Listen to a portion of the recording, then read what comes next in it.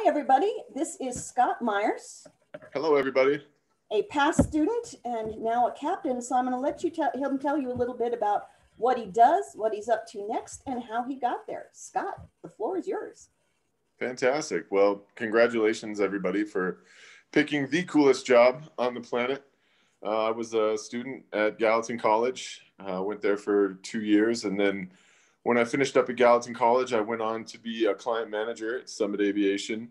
Uh, did that for about eight or nine months and uh, couldn't stand being in the office while every, all my friends were flying airplanes. And so a buddy and I uh, went on a pilgrimage to Alaska. I figured if you want to be an actor, move to Hollywood. Well, I wanted to be a pilot, so go where the airplanes are. We went up to Anchorage, middle of the winter time, and just uh, started knocking down doors and handing out resumes and hoping for the best. And him and I got on with a small company called Alaska Central Express, flying 1900s as a uh, first officer for them.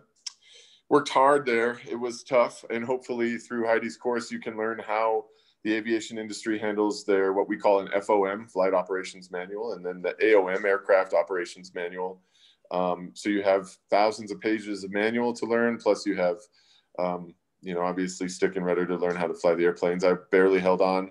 Um, stayed with Ace for a year, got my feet into, you know, got myself into the aviation career and got to see what it was like to be a first officer and, and to be in, uh, and it was a 135 operation, but they handled it a lot like a 121 operation. So it was good to have that experience. Um, in a year with them, I got just over 1,100 hours which put me over the 1250 I needed to go and get a restricted ATP at an airline. And so I skedaddled down to the lower 48. I interviewed at SkyWest, Horizon, and had one scheduled at um, Endeavor as well. Incredible, incredible opportunities, each one of them. SkyWest said thank you, but no thank you. Horizon said yes, please, as soon as possible. And then I never made it to the Endeavor interview. Um, listen to the gouges, when it comes to interviewing for an airline this is this is this is career type stuff. So you can't just show up and hope for the best. You got to read the gouges online ask as many questions as you can go there prepared. I cannot i cannot stress that enough. There are there are online programs regional airlines less important but as you get into the major and the legacy airlines some of the larger cargo carriers uh, we'll talk about that in a bit but you'll want to be highly prepared. These are high paying jobs, these are amazing opportunities. Show your value, show your worth, show up prepared. Um, so I was able to land a position as a first officer with Horizon. I've been with Horizon just over three years, or just shy of four years, rather. Uh, there was a um, bit of a, a, pilot shortage when I got started in, in 2017. And so it was all go, no quit with Horizon. I uh, was a first officer there for 18 months, upgraded to captain in January, December of 2018, January of uh, 2019. And then four months after that, they, uh, they must have saw something they liked because they put me in the simulator as a simulator instructor for them. And so now I've been a captain for almost two years, just about two years, and then a simulator instructor for about 18 months.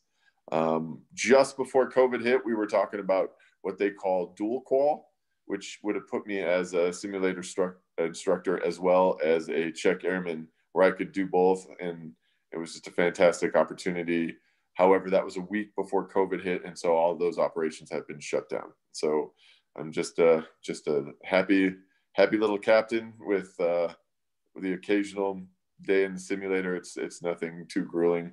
Um, and then in August of 2020, believe it or not, uh, I was invited to come and interview with uh, FedEx Express.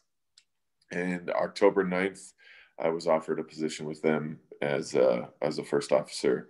I don't know my equipment yet, and I don't know uh, where I'll be based just yet, but uh, I definitely am looking forward to starting in the beginning of March.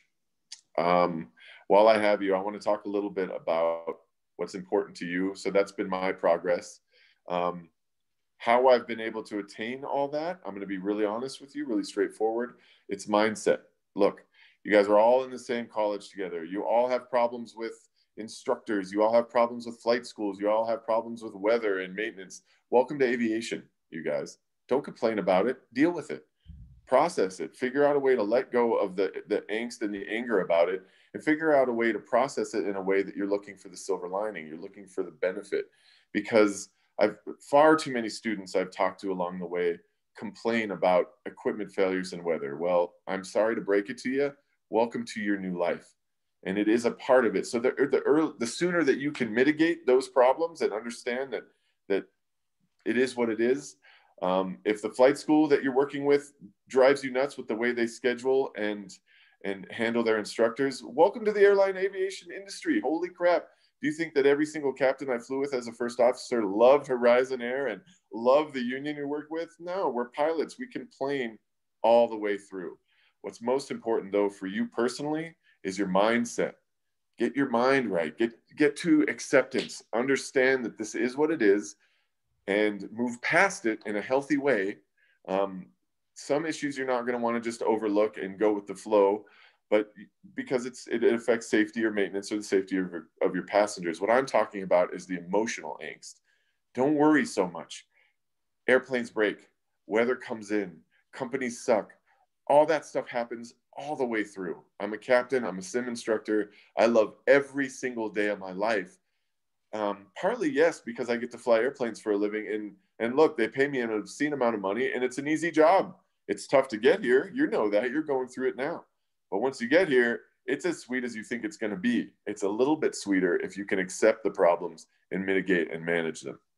Um, so that's a little bit how you process through this journey. And look, think about if you were hiring somebody. Do you want to hire somebody that's that's going to complain and whine about all the problems, or are you going to want to hire somebody that's passionate and energetic about the positivity in their life. Because honestly, um, for a guy that actually got to go to the top of the industry, walk in the halls that that astronauts have walked with, and and get to sit down with these guys with with energy and passion and positivity, and and be offered a position, I'm extremely grateful. I'm extremely humbled.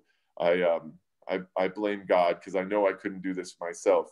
But to have gotten to that level in my career, I understand that my passion and my energy and my ability to take the good with the bad and move forward with positivity and passion is what has gotten me here so so quickly. I graduated in what was that? Be may of 2015 and i accepted a job with fedex october of 2020 it's ridiculously fast. I can't take credit for it. Believe me i'm humbled to get to be here. But if there's one thing i attribute my success, obviously God first, but number two is I love what I do and it shows. Love what you do and show it. You know, don't complain. Everybody, you know, everybody has problems. We get it. It's hard. I understand. I was there with you. Um, accept it, process it, but then really get into the passion of what it is to be an airline pilot because it is incredible. And my life is easy. It's uh, um, it's tough to get here, like I said, but when you're in when you're in the cockpit and you're flying these routes, um, it's incredible. It truly is. Why don't you tell tell uh, share with us some of the po more positive aspects of being in the position you're in right now? Um, first of all, first officers are way better than captains. I uh, absolutely loved being a first officer. It was great, but as a first officer, you have to kind of be a chameleon. Okay, you have to you have to know how to ask questions and listen well and you have to know how to read a situation and and handle yourself in a professional way so that that the captain can feel supported. Um, as a captain though this is the best part of my life. The best part of my life is i set the tone for that aircraft.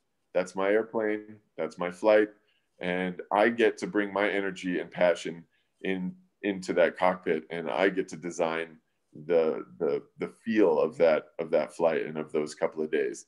Um, we get to travel all over the place, and, and granted, right now I work for a regional airline, so we're talking about some markets in California and in the Montanas and Idaho and Washington and so on and so forth. But um, you're in a new place a lot. You get to experience a lot, and it, as much as you want to. If you want to get out, walk around, and check stuff out, you can. If you want to hunker down in the hotel and watch Netflix for ten hours, you can do that too. Um, the freedom, though, is to have kind of a dual life. Um, at first, it was a challenge. The first three weeks as an airline pilot, I was wondering if I could do this, right? Like you're living in hotels two weeks a month. and you think, oh God, and they're not, you know, it's a it's a regional airline, so they're not like the nicest hotels. They're comfortable and and they have what you need. But um, I tell you, after about a month of doing it, I really came to crave the the freedom and the alone time. Uh, you have your life on the road, which is all yours. That's all yours. You you design how you you spend overnights at these locations in these markets, and then you have your home time. When and when you're home, you're home my favorite part about this industry is that you do not take your home, your work home with you. When I land an airplane, I can't go back and make sure that the landing was better or the turbulence was less or that your flight was more comfortable. When I land the airplane, my job is done. Um, I say goodbye to you. You get off my airplane. I walk out of there and straight up, you guys, I don't think about it again. People ask me, well, where are you going next week? I don't know, wherever they tell me. Um, I like too that I don't know what day of the week it is. Today, I, I mean, um, I'm pretty sure it's Wednesday. Is that right, Heide? But I just yeah. don't know what day of the week it is. It doesn't matter to me. I know when it's the first day of the trip, and I know when it's the last day of the trip. Um, our trips are broken out into one, two, three, or four day trips. And I start the first day, I work for four days, and I go home. So really, my schedule's pretty sweet. I'm three, four on, three, four off, um, I can work in vacations pretty easy without even having to take vacation time because if you front load your month or back load your month, you bid for a schedule, which means you you basically go into a lottery and you you pick out what you like best and hope for the best. And sometimes you get good schedules and sometimes you don't. But um, it's always it's always something a little different, and it's uh, it's really neat to not have to take your work home with you. I will say that's probably the best part. So now I'm going to ask you about the flip side. What are some of the challenges of being in your position? Um, some of the hardest parts of what we do is mitigating passengers, mitigating fatigue, mitigating the challenges of the flight crew, um, working with a captain that you don't necessarily agree with, remaining professional when when things turn sour. Um, ultimately, the safety of the passengers is most important. I don't go to work to be cool. I don't go to work to show off how good I am at flying an airplane. I go to work to get a the people safely from a to b and b the equipment safely from a to b and um, sometimes that comes with maintenance delays sometimes that comes with cranky captains sometimes that comes with um, i've had passengers od on my aircraft drug overdose i've had passengers vape in the seat in the middle of the airplane in the middle of the flight um, i've had unruly passengers um, i had a dog try to bite me an emotional support golden lab that was like 200 pounds. Or it was like 120 pounds, but it tried to bite me as a first officer. I said that was enough was enough. Being away from home, you guys look. It, the reality is is that I'm gone two weeks a month, and there are parts that I miss. Sometimes I miss birthdays. Sometimes I miss holidays. Sometimes uh, you miss your life at home. Um, but that's that's all part of taking the good with the bad. I uh, I don't work for a living. I, I haven't since I graduated Gallatin College. Um, I get to do what I love every single day, and I wouldn't give it up for the world. But it, you know, where there's reward comes a little bit of pay, and uh, I pay by having to be on the road so much. And if I want more money, I got to work more, which means I, if I work more, that means I'm away from home more. And so, cherish that time at home. Um, don't, don't be like me and spend it talking about airplanes, airplanes, airplanes. I swear to God, my poor family is tired of hearing about airplanes. But um, yeah, the downside is being away. But you know what? Um, how much are you away if you're a, lo- a, lawyer or a doctor, though, too? You know, when you're working 60, 80 hours a week, um, how many dinners do you miss? How many holidays do you miss? So on and so forth. So, no matter what we do as white collar professionals, um, it takes some commitment. And when I'm home, that's our favorite part as a family. When I'm home, I'm home. I, I don't have anything. Um, working in the yard, hanging with the kids, playing basketball at the park, doesn't matter. I don't have anything that that takes my time away from being home. So that's great. So what is one of the a couple of the attractions that brought you to moving over to FedEx? Um, I know every one of you guys are thinking, well, the paycheck, duh. Yeah, I'm going to make an obscene amount of money.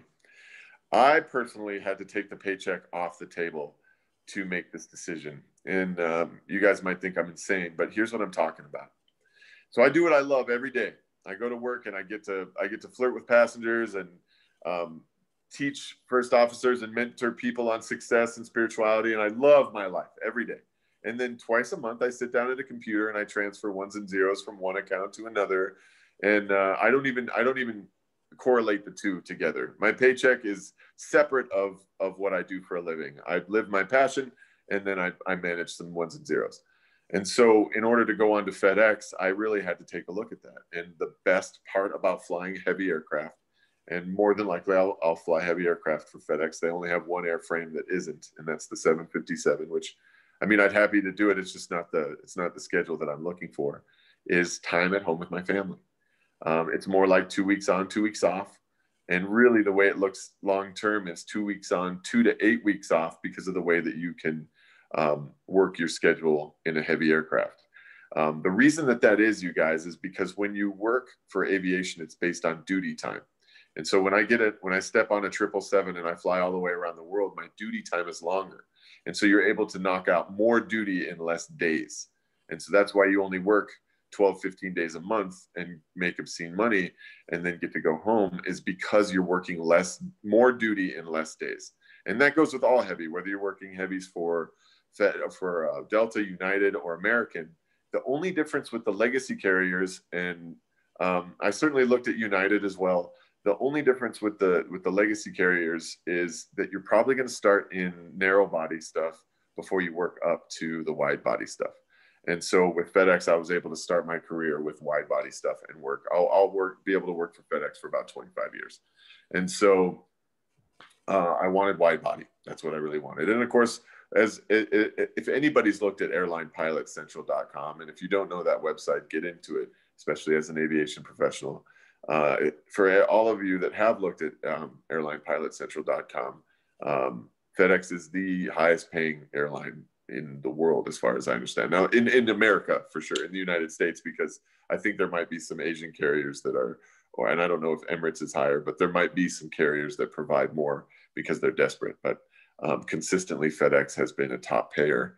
And uh, as I've learned, the company they spared no expense for accommodations, training, so on and so forth. So, um, flying heavies, time at home, and then of course better accommodations when I'm gone.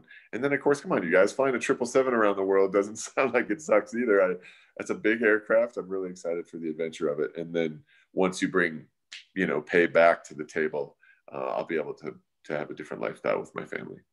All right. Well, Scott, I really want to thank you. Um, past student, professional pilot, and motivational speaker. Apparently. All right. Have a great day.